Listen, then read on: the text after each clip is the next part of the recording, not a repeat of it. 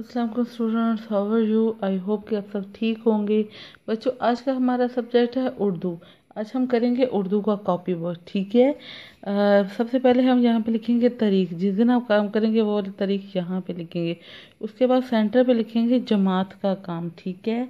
फिर उसके बाद दिन लिखेंगे जौन से दिन आप काम करेंगे, ठीक है? फिर है सबक। फिर नेक्स्ट लाइन पे लिखेंगे सबक का नाम टोट बटोट नज़म, ठीक है? उसके बाद एक लाइन छोड़ के लिखेंगे इमला, और ये सारे इमला के लफ्ज़ अपने लाइन को छोड़ छोड़ के और साफ़ लिखना है, नीट राइटिंग में, ठीक है?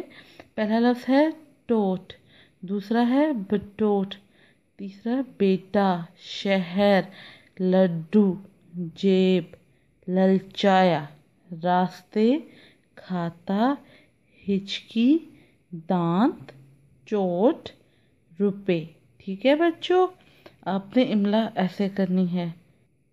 उसके बाद बच्चों नेक्स्ट पेज पे उसी तरह ही आपने लिखनी है तारीख, फिर जमात का काम, फिर दिन लिखना है। ठीक है? फिर सबक टोट पटोट नज़म।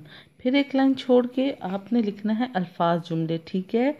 इधर लिखें अल्फाज और इधर जुमले। दरमियान में आपने लाइन लगानी है और मार्जिन लाइन मस्त लगानी है, ठीक है? पहला लफ्ज़ है लड्डू।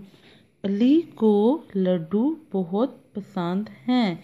दूसरा लफ्ज़ है दांत। अहमद के दांत में बहुत दर्द था। तीसरा है ललचाया। टॉफ़ी को देखकर ज़ारा का दिल ललचाया। चौथा है, चोट। गिरने से अली को चोट लग गई। पांचवा है, शहर।